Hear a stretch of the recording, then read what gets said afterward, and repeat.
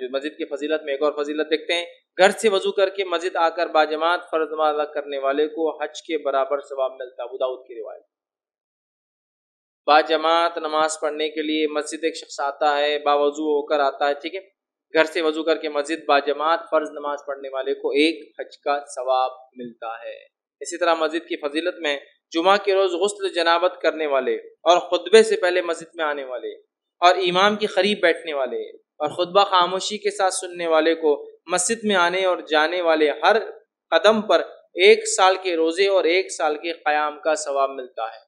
One year کے برابر قیام اور سیام کا ثواب ملتا ہے۔ اگر ایک انسان صرف جمعہ کو دیکھیے، اگر مسجد آتا ہے اور غسل لے کر آتا ہے، غسل جنابت جلی آتا ہے، اذان سے پہلے آتا ہے، خطیب کے قریب بیٹھتا ہے، خاموشی سے خطبہ سنتا ہے، ہر قدم جو اس نے ڈال کر آیا مسجد تک ہر قدم پر ایک سال کے قیام اور ایک سال کے سیام کا ثواب۔ کیا فضیلت کی جگہ دیکھے جہاں آپ چل کر آئے تو یہ اجر و ثواب۔ اور بھی خالی ایک نماز کا یہ اجر ثواب۔ بہت اجر و ثواب یاد رکھیے، بڑی فضیلت ہے مسجد کی۔ آئیے، مسجد کی ایک اور فضیلت جو ہے وہ یہ